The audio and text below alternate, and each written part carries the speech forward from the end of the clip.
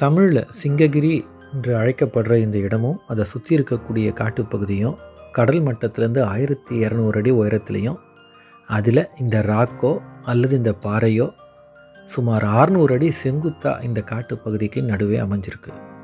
ஒரு பெரிய சிங்கத்தினுடைய இரண்டு கால் போன்ற அமைப்புகள் இன்றைக்கும் இந்த படிக்கட்டுக்கு ரெண்டு பக்கம் இருக்கிறத நாம் பார்க்கலாம். அதனாலேயே இந்த இடத்துக்கு சிங்ககிரி என்ற பெயர் வந்திருக்கு.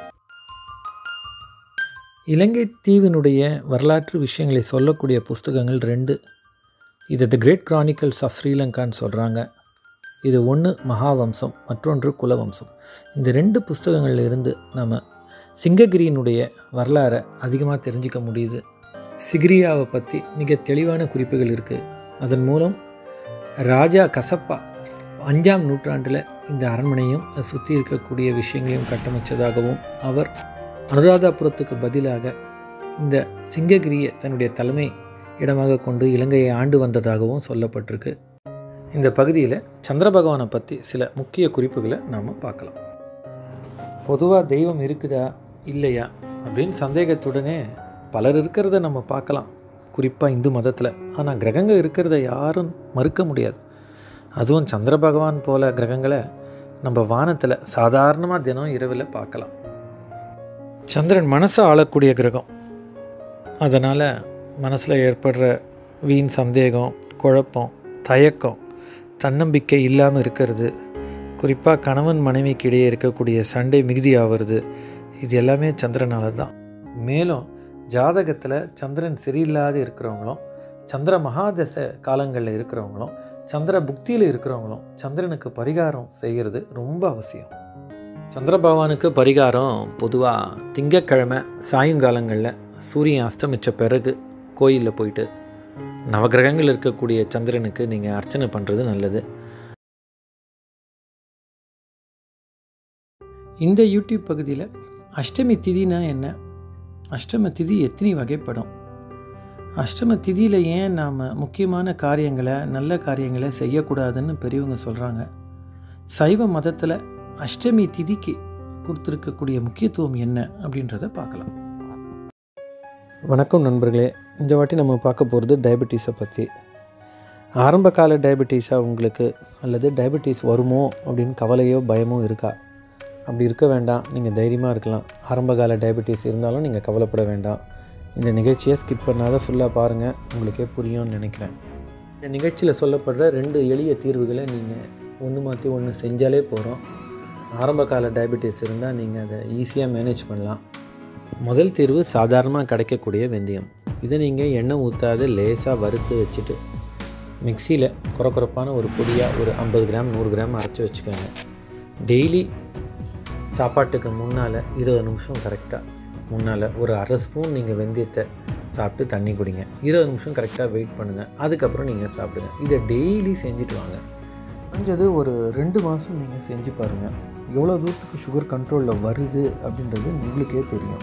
வெந்தயம் டயபெட்டிக்ஸ்க்கு மட்டும் இல்லாமல் வெயிட் லூஸ் பண்ணுறதுக்கும் பிளட் ப்ரெஷரை ரெகுலரைஸ் பண்ணுறதுக்கும் அதனால் ஹார்ட் அட்டாக் வர்றதை தடுக்கிறதுக்கும் கூட ரொம்பவே உதவுது.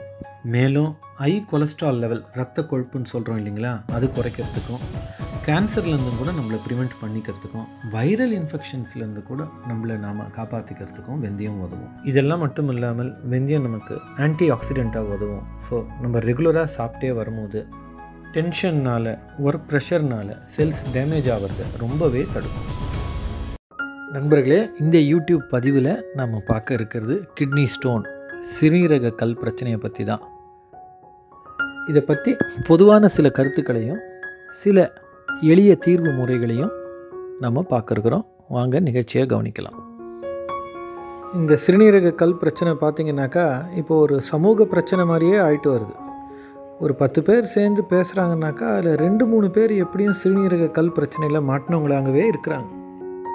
சிறுநீரக கல் அடுத்தபடியாக பார்த்தீங்கன்னாக்கா யாருக்கு ஒன்றா வருது? இதில் வயசு வித்தியாசமெல்லாம் இப்போ இல்லை.